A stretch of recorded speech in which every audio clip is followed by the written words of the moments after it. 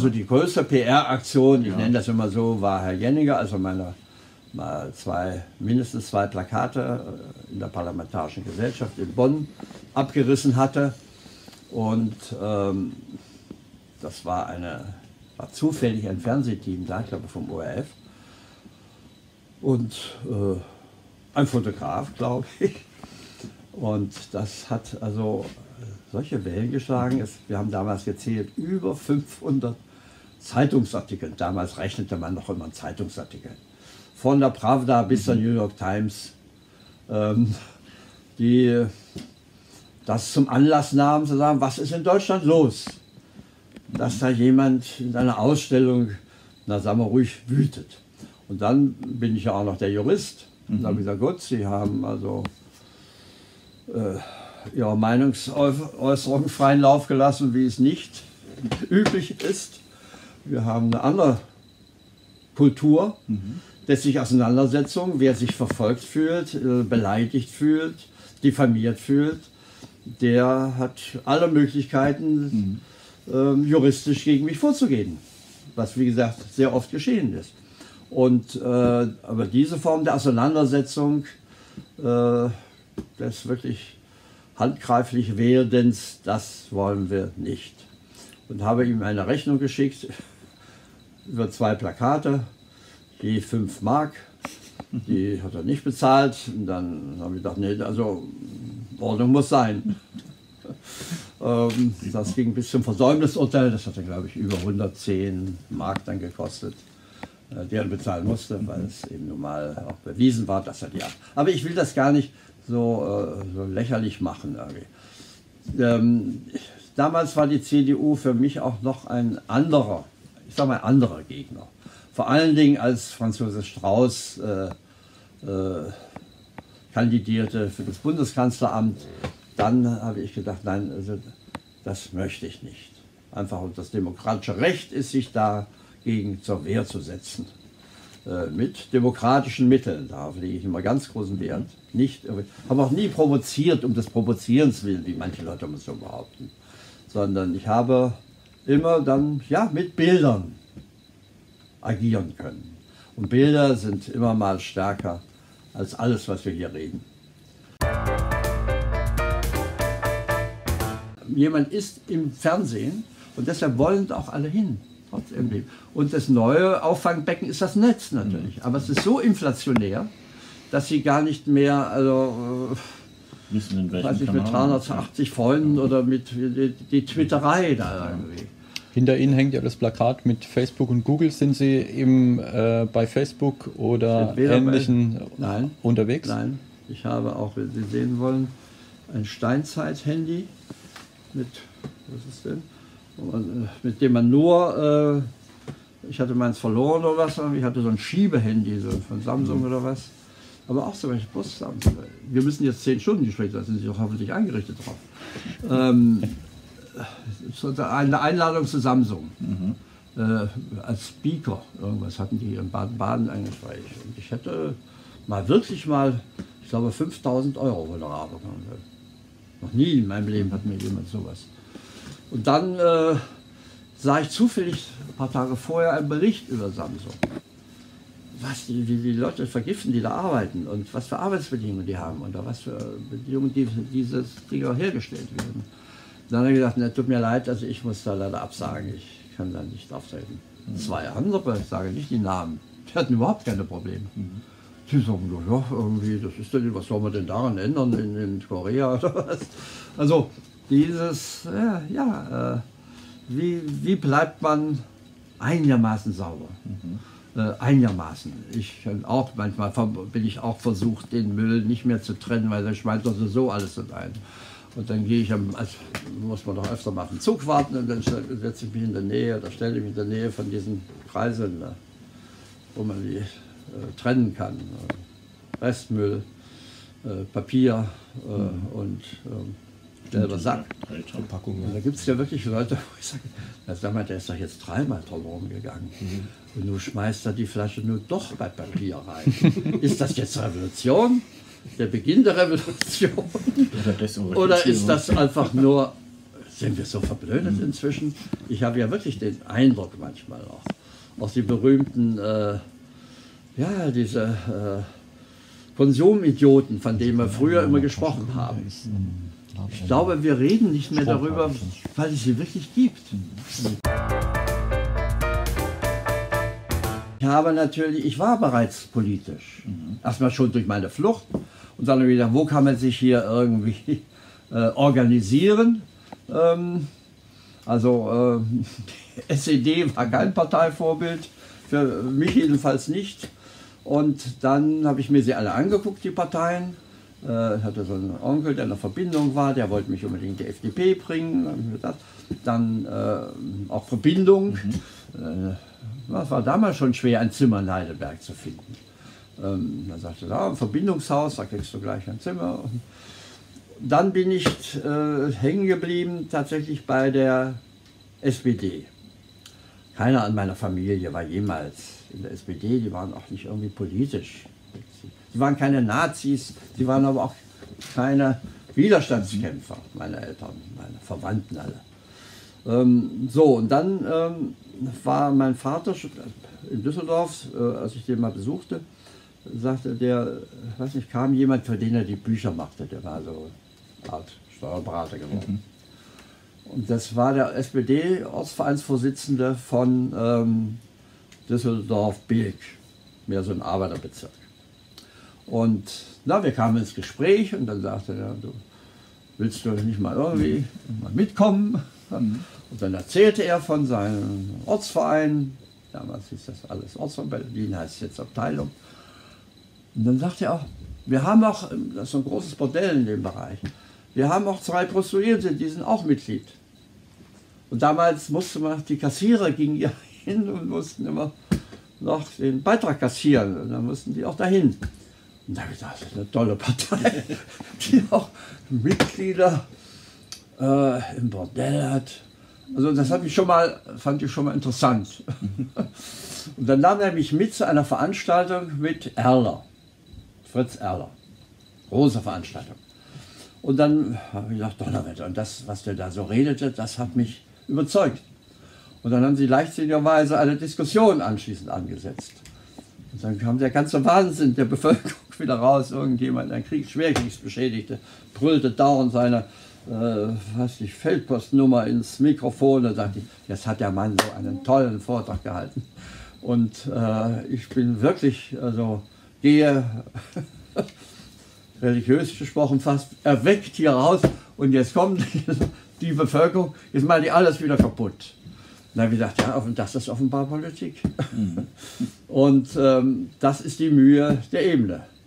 Und das ist dann, wie Günter Grass, als er mal hier war, was ich hat in der Neckar-Zeitung, glaube ich, diktiert. Mhm. Ja, der Klaus Steck und ich, wir sind äh, Sisyphusse. Wir wälzen den Stein immer wieder hoch, wissend, dass er wieder zurückrollt. Hm. Und ähm, ja, äh, dabei nicht zu resignieren und dabei nicht zum Zyniker zu werden, das waren immer meine großen, sagen wir mal, mhm. Sorgen. Sie haben, glaube ich, immer gesagt, Sie sind aber kein Nein, 68er. ich bin kein 68er, also bin nicht der typische 68er, mhm. sondern ich war, äh, wie gesagt, acht Jahre in der SPD, ja. Das war für die jungen Revolutionäre, also die, eine reaktionäre Partei, ja. Arbeiterverräter, wie oft mhm. hat man das gehört. Äh, und ich war ein bürgerlicher Künstler. Mhm. Ähm, also war ja damals auch keine Kunst. Zwei rote äh, T-Shirts. Freundliche Zeit. Nein, mhm. nein, das war gar nicht. Ähm, sondern die liebten die koreanischen und chinesischen Holzschnitte. Mhm. Äh, die war fast, fast kunstfeindliche Zeit. Irgendwie. Und ein Ereignis noch, äh, eines Tages kam der Hausmeister von dem alten, alten Uni zu mir mhm. Und sagte, Sie sind doch der mit den Plakaten hier, irgendwie habe ich gesehen. Er machte für den AStA auch mhm. Plakate, für Studentenparlamentswahlen und machte sie immer so, dass ich, wenn ich den Text wegließ, dann noch eine Postkarte hatte. Oder ein Plakat hatte, wenn ich einfach wofür es war, mhm. wegnahm, so angelegt. So, und der kam zu mir und sagte, wir haben in, hier im Keller ein großes Plakatarchiv, ein historisches Plakatarchiv. Mhm. Und irgendjemand hat das Schloss geknackt Und die Studenten bedienen sich aus diesem Archiv und schleppen das dann, weiß nicht, ins Asta mit rüber oder nehmen es mit nach Hause, äh, um ihrer Studentenbude. Mhm. Das sind aber historisch wertvolle Plakate. Und da habe ich gesagt, das darf nicht wahr sein. Der Hausmeister, der Hausmeister hat mehr historische Verantwortung als die ganzen mhm. äh, Studenten, und, also die äh, doch meinen, sie müssten also die Welt neu erfinden. Nochmal zu 68. Der Ansatz war richtig, mhm. die Eltern zu befragen. Was habt ihr gemacht? Warum habt ihr verdrängt? Mhm. Warum haben die Heidelberger Bürgermeister den äh, Oberbürgermeister Neinhaus, den Nazi-Bürgermeister, mhm. nach dem wieder mit absoluter Mehrheit gewählt? Diese Fragen. Ihr Professoren, was habt ihr gemacht? Mhm. Warum habt ihr, also, ähm, ja, wieso war Globke plötzlich, der Rassengesetze kommentiert hatte, wie war der die rechte Hand von Adenauer geworden, Filbinger, wie äh, all diese Geschichten. Ähm, das war richtig irgendwie. Dann aber äh, äh, gab es eben diese, wie alles denn irgendwie äh, ja, wahnsinnig wird, sage ich in dem alten Falle, wirklich so.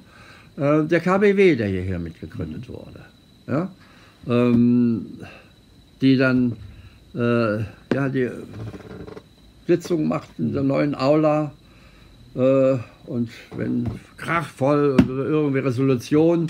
Und dann habe ich gesagt, naja, die Resolution, hoffen Sie, dass Sie morgen in der Rhein-Neckar-Zeitung stehen, die sich als die reaktionäre Zeitung beschimpfen äh, wie läuft denn das? Und äh, also, dann war mal eine Abstimmung wohl schief gelaufen, da sagte jemand, herrscht das falsche Bewusstsein, mhm. diese Abstimmung gilt nicht. das ist toll. Und dann war immer einer, der, ich bin da oft hingegangen, deswegen, wie weit treiben die das eigentlich hier? Ich war sowieso der Paria, der da gar nicht mehr äh, ernst genommen wurde, eben als äh, Außenseiter. Der auch ein bisschen politisch da meinte er, mhm. weil ich immer gesagt habe, so, ich habe neben Leuten gesessen, äh, die im KZ waren als Arbeiter. Was redet immer von? Haben die gesagt, nicht deine, deine Arbeiter, weiß ich noch. Sie sagen, oh. das, es geht um das Arbeiterbild, mhm. ähm, das Revolutionäre, was. Also der dahin kommt erst Sonne, da kannst du aber lange warten, bis die dahin kommen. Und dann hatte ich gesagt, du, äh, die alle dann Mao Zedong schätzen so und äh, Pol Pot. Ähm, da weißt du, die Heidelberger Bürger, die wollen überall hin, da bin ich ziemlich sicher. Notfalls Teneriffa oder ganz alle, auch mal Amerika, aber auch zu den Malediven. Aber die wollen nie zu Pol Pot. Da bin ich sicher. Insofern habe ich das auch so an mir abtropfen lassen, wenn man so will. Obwohl, es war bösartig. Die haben ihn auch schon sehr angegriffen. Ausgelacht. Das ist ja das Schlimmste, ausgelacht mit seinen Arbeitern. Naja, und dann, äh, wie gesagt, der Schmierer, so hieß mhm. der Mann, glaube ich, der das hier mitgegründet hat, den KBW, das war die übelste politische Sekte. Mhm. Und ich gehört, Herr Kretschmann, habe ich gehört, gehörte der auch wohl an. Nun kann man sagen, was für ein großartiges Resozialisierungsprogramm. Mhm. Also besser geht es doch gar nicht, dass jemand vom KBW zum Ministerpräsidenten wird. Und der ist doch besser als jeder CDU-Mann in Wahrheit. Der ist doch, steckt die doch in die Tasche, mhm. was der für Politik macht. Da kann die äh, CDU nicht mithalten. Äh, was ich den Leuten vorwerfe, irgendwie so auch, kennen ja, kann sich alle, fast alle persönlich dann nachher auch. Mhm. Als, ich war das Feindbild. Ähm, sie kennen den Zweifel nicht. Mhm. Das sind für mich auch so Korkenmenschen, die immer oben schwimmen, die immer, äh, Opportunismus ist auch ein falsches Wort dafür, aber die immer, die, sind, die haben immer recht. Die sind die immer, egal was sie machen, mhm. Sie sind zum Beispiel dieser eine da, dieser Joschka Schmier, der saß irgendwann unter Herrn Fischer, der genauso ein Typ ist, der wohl mal gesagt hat, er möchte nicht von seinem Fahrer äh, im Dienstwagen angesprochen werden, ähm, die da gar keine Probleme mit haben, Steinerwerfer und dann Sie Minister meinen, sind. Meinen Sie Jofka? Fischer? Ja, die Jofka. überhaupt keine Probleme ja. haben. Äh, die sind immer eben ja, der Herrschaftstyp, ja. obwohl sie ja den Herrschaft angeblich abschaffen wollten. Ähm, das war dann etwas, wo ich sage, nein, damit habe ich nichts zu tun. Mhm. Und deshalb, ich will, bin gerade dabei, eine Kolumne zu überlegen, ob ich nicht mal auch zu 68 jetzt was schreibe. Mhm. Dieser Mythos, der da herrscht. Sie haben sich an die Schwachen herangemacht. Hier in Heidelberg, also am mhm. konkreten Ort, konnte man sehr gut sehen. Also sie haben den armen Topic gequält. Soziologieprofessor, wo meine Frau studiert hat. Und sie haben sich nicht rangemacht an Graumann, wo sie behaupteten, das sei ein alter Nazi, das ist sowieso vergeblich. Aber den armen Topic, der mit seiner Mutter zusammenlebte und äh, wo sie die Goins machten, den sie bis zur Weißglut gemacht, der dann irgendwie das Handtuch warf und wegging. Kurz vom Abitur, indem ich mich da so mühsam auch vorbereitet und alles, ich muss hier durch und hatte fest vor, in den Westen zu gehen, weil ich wusste, hier werde ich nie mehr was. Ich hatte durch Zufall gehört, hatte mich beworben für Architektur unter anderem. Und da hatte ich stand die Tür offen, als sie meine politische Beurteilung vorlas, die der FDJ-Sekretär mhm. offenbar für alle Schüler macht. Und ähm, da las, der las da Dinge vor, wo ich sage, was ich alles gemacht habe. Beim Rühmen verziehen hat er das und das gerufen. Mhm. Und der ist also völlig politisch unzuverlässig. Da habe ich gedacht, hier brauchst du gar nicht mehr reingehen. Das ist gelaufen. Dann habe ich gedacht, nein, du gehst trotzdem rein. Und man wusste doch, was man sagen sollte. Man wusste, von Picasso wurde einem was irgendwie was Abstraktes vorgelegt, das sollte man schlecht finden. Und dann habe ich gesagt, nein, also äh, das ist wahrscheinlich von Picasso hier. Ich finde das gut, weil ich äh, nicht einsehe, warum ich die Friedenstaube und das Weltjugendfestspiel, Plakat, äh, wir alle gut finden sollen und mhm. das sollen wir ignorieren natürlich. Nein. Und so ging das immer weiter. Dann, was kennen Sie denn für Städte? Haben wir gesagt, ja, ich war schon mal in Paris und in Brüssel. Das war alles illegal, das durfte man natürlich nicht sagen. Das war möglich, vor der Mauer war das mhm. alles. Und also, ich hatte mich im Kopf und Kragen geredet und es war klar, der Rektor, der ein alter Nazi war in der, Heidelberg, in der Bitterfelder Schule und dann, was auch wieder sagte, also das ist abgelehnt worden, aber äh, ich werde dafür sorgen, noch, dass Sie eine Maurerlehre machen können und dann ja noch mal bewerben.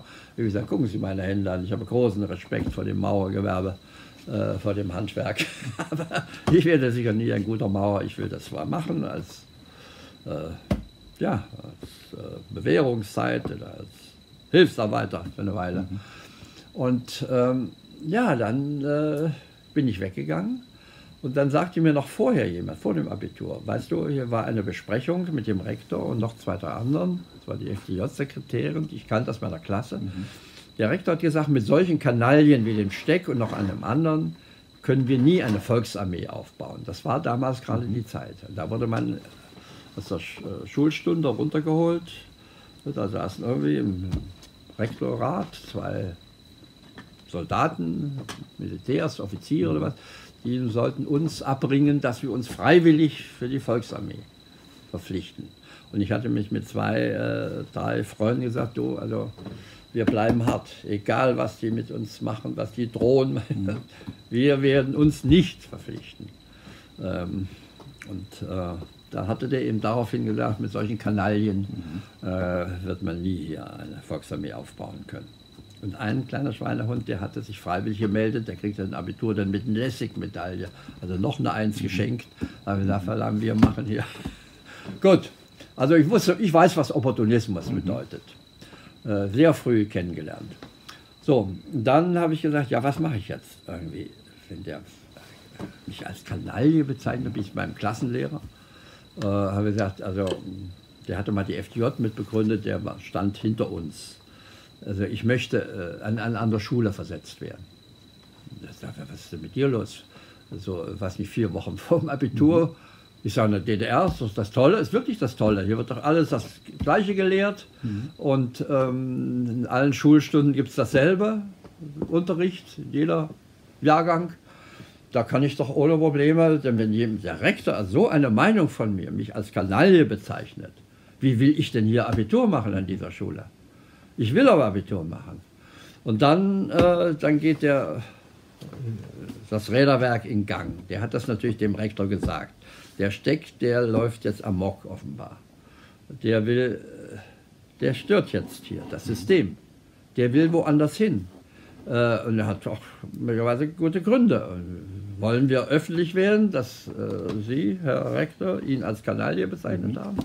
Also, was macht der Direktor? Der ging zum ersten Mal in das Geschäft meiner Mutter und kauft ein Kaffeeservice. Mein Bruder sagt, sag mal, dein Rektor war heute hier, ich weiß gar nicht, der war noch nie in meinem Laden, mhm. hat also einen Kaffee. Aber er sagt, aha, so ist das. Also der kriegt jetzt die Muffe. der hat Angst, dass jetzt das öffentlich wird und er Probleme kriegt. Was ist an deiner Schule los?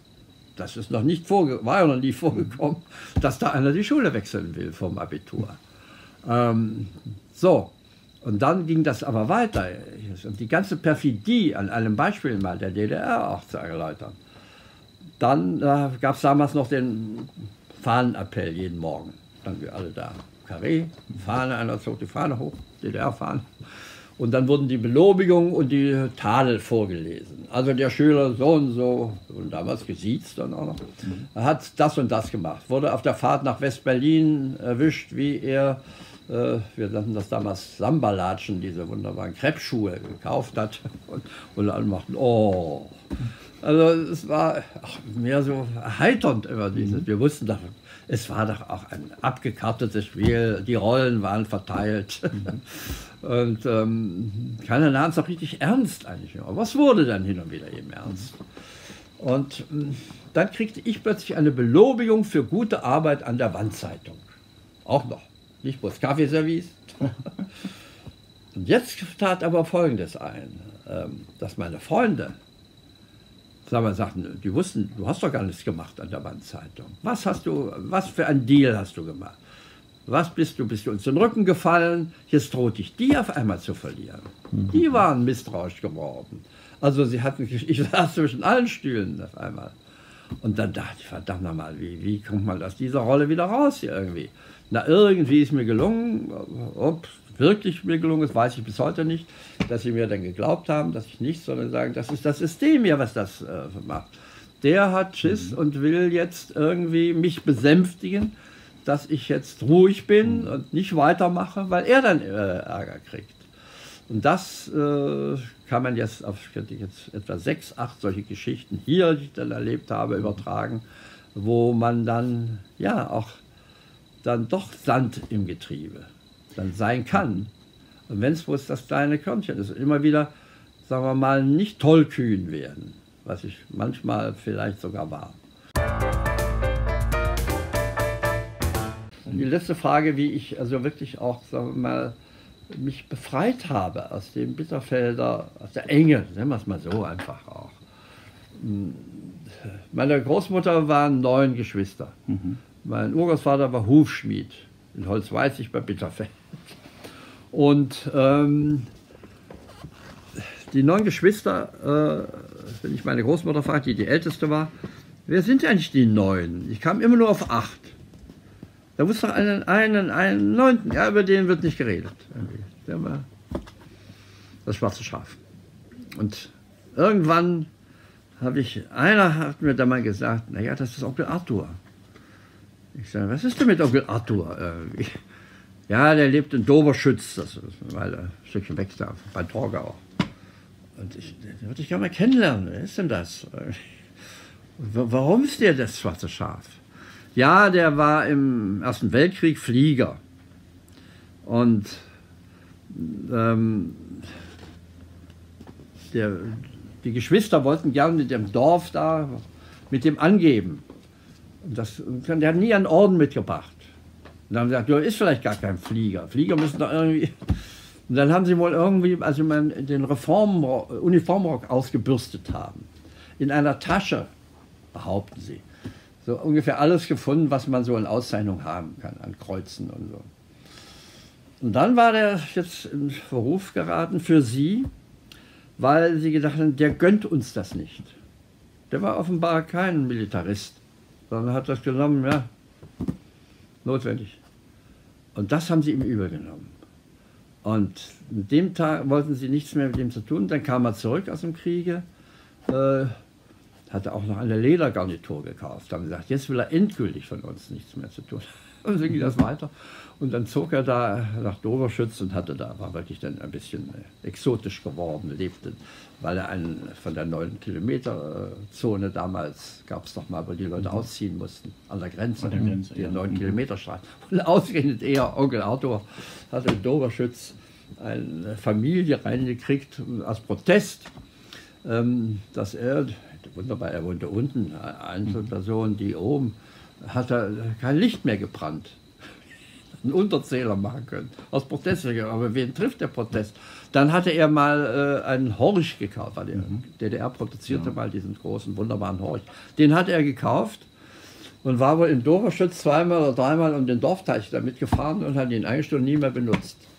Dann wieder, wenn man wusste, was in der DDR ein Auto bedeutet. Die haben die Babys angemeldet, damit sie später ein Anrecht hatten. Also er war schon sonderbar geworden. Und irgendwie, und trotzdem war ich dachte, wie, wie hat er das geschafft? Ich komme aus so einer Sofa-Knick-Familie. Also der Knick da. Otto Sander. Ja. ja.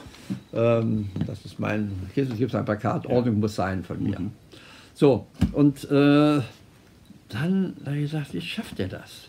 Und äh, es gibt jetzt eine Sendung des SWR, der Herr, hat ja mal die Büchersendung gemacht, wie heißt der? der Scheck, oder? Scheck. Dennis Scheck hat mir geschrieben, äh, da gibt es, wo, wo, man seine drei Lebensbücher. Mhm. Und ähm, eines wird mit Onkel Arthur zu tun haben, als ich konformiert wurde. Also die Familie hat nach wie vor. Onkel Oswin wurde als Emissär, damit er nicht mhm. verkommt. Und ich hatte ihn bestochen, mal mich mitzunehmen. Deshalb bin ich überhaupt dahin gekommen. Und irgendwie hat er herausgekriegt, wann ich konfirmiert wurde. Mhm. Und plötzlich heißt es plötzlich, da ist draußen einer an der Tür, den weiß nicht, keiner kennt ihn. Wer ist das?